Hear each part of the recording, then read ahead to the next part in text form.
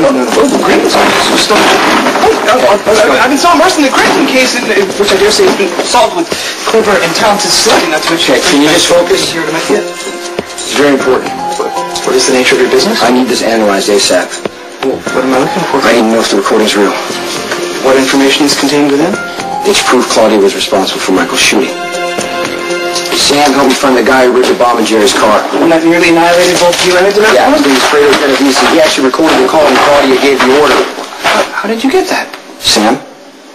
But now I'm counting on you, okay? I need to know that this recording is not the doctor or dummy. I put Claudia's voice on there also so you can compare it to. How did you get a recording? Never, never, never mind. Hey, Claudia Z. Look, I, I need a job done right away. There's a late model sedan, and it's heading towards the garage on 10th Street right now as we speak, so you don't have a lot of time. The license plate number is ATJ39K0. I need you to wire it to explode and make sure the driver does not survive. Forgive me for asking, but doesn't this merely prove that Vixenella attempted to kill the demented one? Yeah, Jerry is the only one that ties Claudia to Michael's shooting. She tried to kill him to shut him up. Um, I've downloaded the accusatory recording onto the desktop, and I'm running Vixenella's vocal sample through a variety of programs to assess its authenticity. So you're, you're trying to match the samples? Precisely. Soon the computer will ascertain whether Vixenella was actually speaking or she was framed. I must admit, I kind of hope it's the latter. You- You're hoping that Claudia's innocent. Yeah, well, she's always been kind to me, and on on more than one occasion, she's interceded on my behalf with Mr. Sir. Yeah, only if there's something in it for her. Well, th- that assessment does not does not explain other anomalies. Remember when you and I were afflicted with Asian ague? She tended to us most graciously. She was stuck with us. She didn't have a choice. Other motives aside, I was grateful. Dare I say it? I must admit to having amicable feelings towards her. Spinelli, Claudia was working you the same way she's working Michael right now. Claudia is responsible for Michael's shooting. The only way that she can protect herself is getting pregnant by Sonny. I have to play devil's advocate. Isn't it possible she just got pregnant by Are accident? you, are you kidding me with this today? The timing's too convenient. She knows that if she's carrying Sonny's kid, he's not going to hurt her. I'm not going to hurt her. Now she's taking another step with Michael. He's awake. She's sucking up to him, acting like she's his best friend, and he's buying it. I fail to see why it's wrong for the newly anointed Mrs. Sir to, to shower kindness upon Michael. It, on the contrary, it would appear their warm mutual feelings are beneficent. Claudia got Michael shot. The, the shooting was accidental, and Mr. Sir was the intended target. So perhaps if if Vixenella was involved, she's feeling genuine remorse for wounding his offspring, or she's happy with her new You don't, stepmother even- status. just, you don't even understand the kind of woman Claudia is and what she is capable of. The voice prints match.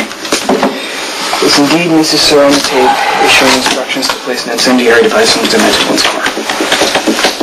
Wait, what are you, what are you going to do with this damning evidence? We take it to Sonny. Okay, I'm sorry, can you please just reflect on possible courses of action? Sonny needs to know what Claudia's done to Michael. Yeah, I'm just proposing that you just put yourself in Mr. Sir's place for a moment. I know flights of imagination are not your forte, but Because just. Sonny wants the proof, Spinelli. They are on the brink of parental joy. Doesn't that child deserve a possible stable family situation? Vixenella may turn out to be a wonderful know, I know that you mean well, but she doesn't deserve your sympathy. What possible outcome do you foresee? You think Mr. Sir is ever going to forgive his spouse?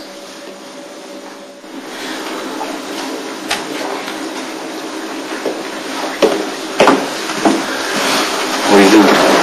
I didn't know you were coming by. Yeah, I got something I want to go over with you. Good, because I need to talk to you. I just I just came back from seeing Michael. How's he doing?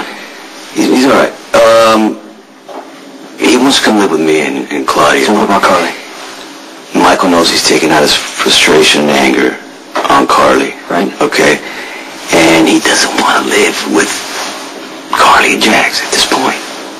Well, Carly's going to be upset about it, right? She's not. She's not happy about it, but I don't know what to do at this point. This is what Michael wants. Does she agree? Yeah, can you at least, you know, you know how to talk to her. Let her know it's not her fault and the whole thing. Yeah. But, you know, the other thing I came to, to talk to you about, I'm not quite I sure. went by the wine store and I got some champagne.